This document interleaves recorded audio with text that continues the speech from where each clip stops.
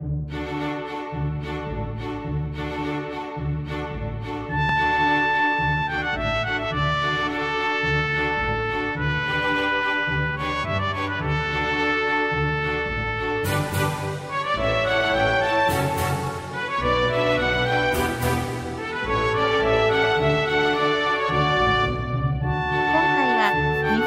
ーバ合作映画エルネストへの反応です。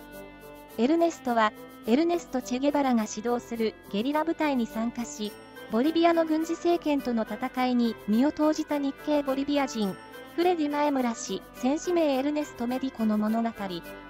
原作は、フレディ・マエムラ氏の姉や甥などによる共著、革命の侍で、フレディ・マエムラ氏を俳優の小田切城さんが演じていらっしゃいます。日本で来月6日から上映されるこの作品は、キューバをはじめとする中南米、そしてフランス、スペインなど欧州でも順次公開される予定です。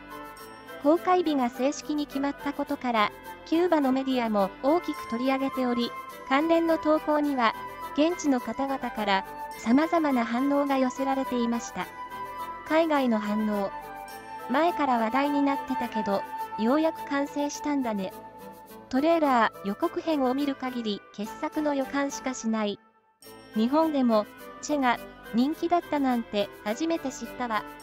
前村のことを書いた本、革命の侍を持ってるよ。今度、Facebook のコミュニティで紹介しておこう。そういえば、インドや日本では、共産党が勢力を伸ばしつつあるらしいね。これから国際社会は大変な思いをするだろうな。南米の人が見たら、かなり心を揺さぶられる作品になってそう。チリ。人の命をたくさん奪った人間を崇めるとは、チェを崇めることは、犯罪者を崇めるのと同じだからね。革命の名のもと、彼は多くの犯罪を犯してきたんだ。右翼が偉大なチェを非難してるのは、羨ましいからだろ。そっち側には、世界中から大悪人の烙印を押されてるヒトラーくらいしか大物がいないもんな。チェのせいで不幸になった人が大勢いることを知らないんだな。めちゃくちゃ興味をそそられるトレーラーだった。キューバの人たちのチェゲバラへの思いも色々あるようで、みんなのコメントも興味深かったよ。アルゼンチン。超小田切だ。南米の日系人を演じるために日焼けしたのかな、メキシコ。この映画を見るためにちょっくら日本まで行ってくる。こういう情報に出会うとネットをやっててよかったって思える。チリ。日本はチェゲバラの漫画を作ってくれればいいのに。アニメでも間違いなくクールな作品になると思うが。日本がチェのアニメを作ったらこんな感じになるんだろうな。南米全土で上映されることをみんなで祈ろうじゃないか。世界が南米の英雄に敬意を払ってくれてるんだな。日本人が作ったものだし、ヤンキーバージョンよりは良さそうだ。こっちでも上映が始まったら、絶対に館に行きたい。きっと名作になるさ。だって、日本人が作った映画だもん。エルネスト・チェゲバラならぬ、エルネスト・クンゲバラというわけか。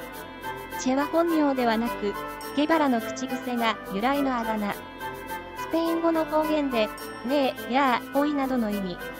ちなみに、サッカーアルゼンチン代表のアグエロのあだ名は、クンデ。これは、日本のアニメ、ワンパク大昔クムクムが大好きだったため、ゲバラくらいの人間だと、様の方が正しいかも。ドラゴンボール帳で、悟空は、戦王をちゃん付けで読んでるけどね。ちゃんは、より愛情のこもった表現なんだ。チェやフィデルと一緒に戦った日本人兵士の話か。きっとタイタニック号に乗船していた日本人のような男なんだろうな。映画を通して、日本の文化や日本人のことをもっと学んでいこう。俺も見なきゃ。日本とキューバだけじゃなくて、こっちでも上映してくれ。メキシコ。キューバ人として、これは、ものすごく嬉しいニュースだよな。僕は、ボリビア人で、今は日本で暮らしてる。母親は日系人なんだ。早く見たくて仕方がない。アメリカやヨーロッパが作る映画みたいにはなってほしくない。大抵単に、チェのことを忘れないってだけの内容なんだもん。スペインでも上映されるなら、絶対見に行くんだけどな。スペイン。私は、チェに関する作品なら何だって見てみたい。彼の偉大さを損なわせない作品になってますように。アルゼンチン。アスタラ・ビクトリア・シエンプレは、常に勝利に向かってなどの意味。ゲバラの革命標語。戦後の日本のためにあるような言葉だと思う。今は、ヤンキーたちによって国が分解されてしまっている。いつかヒーズル国のアジアの兄弟が俺たちと一緒に抑圧者に脳を突きつける日が来ることを願ってるよ。日本が作ってくれたものなら絶対に間違いはなさそう。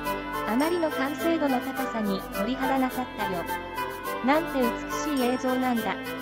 南米の歴史に日本人が関わってたなんて素敵じゃないか、副在住。日本人は50年経ってもチェのことを覚えていてくれてるんだね。こういう文化交流こそグローバリゼーションってものなんだと思うよ。